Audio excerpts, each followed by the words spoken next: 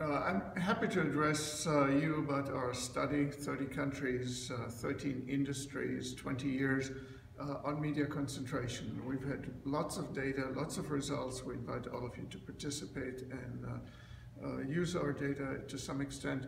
Um, now, some of the findings of many.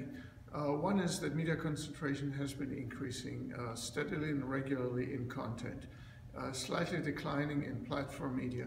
Uh, but the content media, which are more important perhaps uh, culturally and politically, there, there has been a regular increase. United States, somewhat less concentration, but faster rising. Uh, secondly, uh, the internet, which is supposed to be the uh, solution to the problem of concentration, is actually a major part of the forthcoming problem, uh, and that is because the fundamentals of the industry of media concentration seem to be high capitalization requirements and that favors uh, uh, companies uh, that have large scale. Uh, we have high fixed costs, low marginal cost economies of scale, and as a result, large companies in the internet sector are dominant.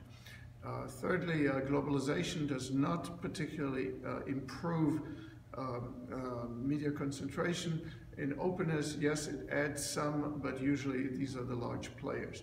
And so if we add it all up, uh, we do have problems, and some of the problems are in particular in the developing world and in the BRICS country that have not received the same attention when it comes to media concentration. Here, we actually observe higher concentration, greater connections to the government in that crony capitalist uh, type, type uh, model, um, and the need for academic attention, for policy attention, for activist attention.